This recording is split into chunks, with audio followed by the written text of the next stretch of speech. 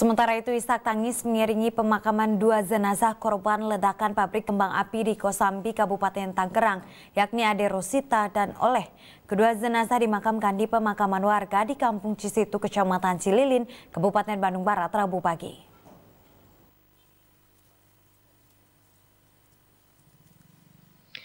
Isak tangis keluarga mengiringi pemakaman dua jenazah asal Kecamatan Cililin, Kabupaten Bandung Barat, yakni Ade Rosita dan Oleh, korban ledakan pabrik kembang api di Kosambi, Kabupaten Tangerang. Kedua jenazah bersaudara yang sudah teridentifikasi tersebut dimakamkan secara berdampingan di pemakaman warga di Kampung Cisitu, Desa Batulayang, Kecamatan Cililin, Kabupaten Bandung Barat, Rabu pagi. Haru dan duka mendalam dari sanak saudara korban dan warga menyelimuti suasana pemakaman.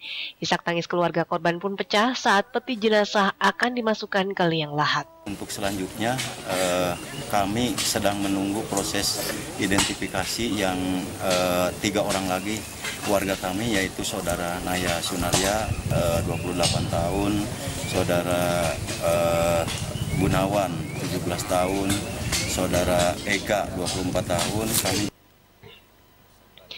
Tiga jenazah asal Kecamatan Cililin yang sudah teridentifikasi dan selesai dimakamkan Rabu ini, di antaranya Ade Rosita dan Oleh, warga kampung Cisitu, Desa Batulayang, dan Ius Hermawan, warga kampung Tegalega, Desa Mukapayung. Uh, baru hanya surat-surat aja yang dikirim sama dibawa sama Pak Lurah.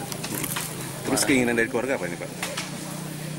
Keinginan dari keluarga yang penting kita udah selesai dikuburkan kita mendoakan supaya yang lainnya jangan terjadi lagi jangan terulang lagi Sementara itu dari enam korban tewas asal Cililin, tiga di antaranya belum teridentifikasi.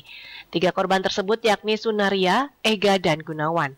Keluarga dan kerabat pun berharap ketiganya dapat segera teridentifikasi dan dikebumikan. Algi Muhammad Gifari, Bandung TV.